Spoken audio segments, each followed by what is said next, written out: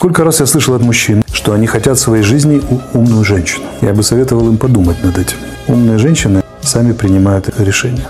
Умные женщины имеют свои желания и устанавливают свои пределы. Ты никогда не будешь центром ее жизни, потому что она вращается вокруг нее самой.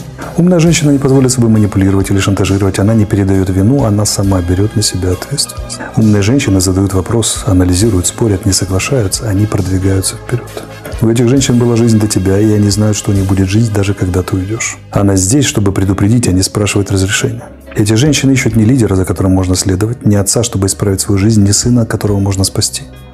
Они не хотят идти за тобой и не, не к кому-то отмечать путь, они хотят идти рядом. Она знает, что жизнь без насилия – это право, а не роскошь и привилегия. Они выражают гнев, печаль, радость и страх одинаково, потому что знают, что страх не делает их слабыми, так же, как гнев не делает их мужеподобными. Это две эмоции, и другие все вместе делают ее человеком, и точка. Умная женщина свободна потому, что боролась за свою свободу. Она не жертва, она выжившая. Не пытайся приковать ее, потому что она знает, как сбежать. Помните, она делала это раньше, она уже сбегала, и она сбежит еще раз. Умная женщина знает, что ее ценность не в том, как выглядит ее тело и что она с ним делает. Подумайте дважды, прежде чем судить ее возраст, рост, объем или сексуальное поведение, потому что это эмоциональное насилие, и она это знает. Так что перед тем, как открыть рот и сказать, что хочешь в своей жизни умную женщину, спроси себя, а действительно ли ты создан для нее?